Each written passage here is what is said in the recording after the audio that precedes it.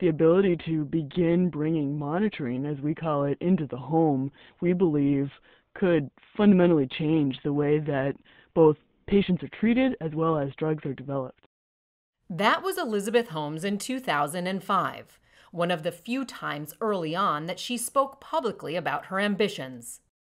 I think it all starts with a very unique kind of founder who truly has a passionate, burning conviction that they've come up with an idea that will change the world. Uh, and they have the soaring ambition to just be driven to want to make it happen as fast as possible. Conviction spurred Holmes to drop out of Stanford University. In 2003, the 19 year old traded in life as a full time undergrad for life as a full time CEO.